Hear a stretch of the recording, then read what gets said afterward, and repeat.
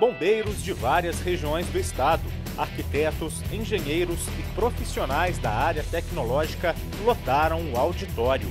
Entre os temas abordados, saídas de emergência, eventos temporários, controle de fumaça, sistema de chuveiros automáticos e o incêndio na Boate Kiss, em Santa Maria, no Rio Grande do Sul. Tema este que, segundo um dos palestrantes, fez com que as normas de segurança fossem revistas. E já conseguiu né, concretizar oito novas normas, com pequenas alterações que trazem muita segurança para quem frequenta esses locais. Os detalhes sobre o incêndio na Boate Kiss foram passados em uma palestra. O major dos bombeiros, Gerson Freitas Marques, veio direto de Santa Maria para explicar o que houve. O, o agente Guíneo foi o uso do, do artefato, é, o fogo de artifício, né?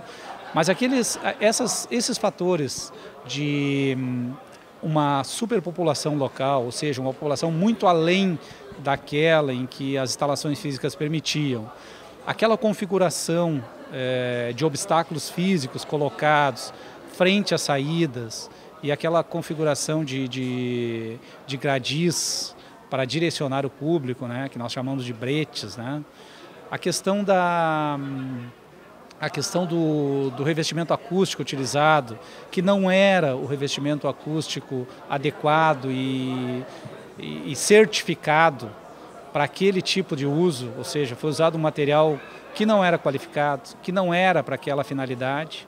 Esses fatores juntos, aliados, eles, sem dúvida nenhuma, eles favoreceram o resultado da tragédia. Muita coisa mudou após o ocorrido. As fiscalizações, por exemplo, se intensificaram Brasil afora. Em menos de duas semanas após o incêndio, onde 242 pessoas morreram, 70 casas noturnas foram fechadas em Porto Alegre, capital do Rio Grande do Sul.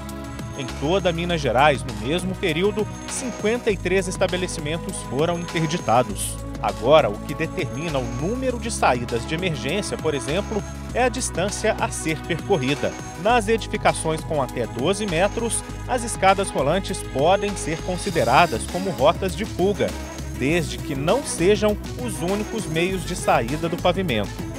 Estas são apenas algumas das inúmeras mudanças que garantem uma melhor segurança. As novas normas já estão disponíveis no site dos bombeiros, www.bombeiros.mg.gov.br, mas elas precisam sair do papel. Veja o exemplo desta simples placa. Ela faz toda a diferença, indica rota de fuga em caso de pânico.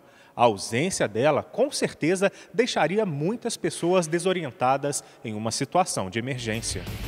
Por isso, o palestrante, Tenente Vitor, ressalta a importância dos engenheiros em se reciclar e participar de seminários como este. De que adianta uma norma bem feita se a gente não tem um projeto bem feito? Então, um bom engenheiro, um engenheiro preocupado com a segurança, ele deve procurar se atualizar. Mesmo que não tenha acesso a um seminário como esse, a norma está disponível já no nosso site. Tanto que instituições como o Sinduscom, Sindicato da Indústria da Construção Civil, junto com os bombeiros e o CREA Minas, ajudaram a promover o evento. É, o principal foco é realmente divulgar todo esse trabalho que o Corpo de Bombeiros tem, né, um trabalho fechado dentro da equipe técnica do Corpo de Bombeiros, e ela poder ser é, difundida para que toda a sociedade possa participar. O diretor técnico de fiscalização do CREA Minas destacou a importância do seminário e a possibilidade de novos encontros, que também podem ocorrer no interior do estado. Para mim, a maior importância disso é o contato do profissional com a equipe de, do Corpo de Bombeiro, com a equipe que avalia, com a equipe que analisa os projetos, que analisa toda a documentação necessária para as aprovações das edificações. E o seminário se faz muito importante, além desse fato, pela questão da reciclagem, da atualização dos engenheiros em cima dos normativos, né?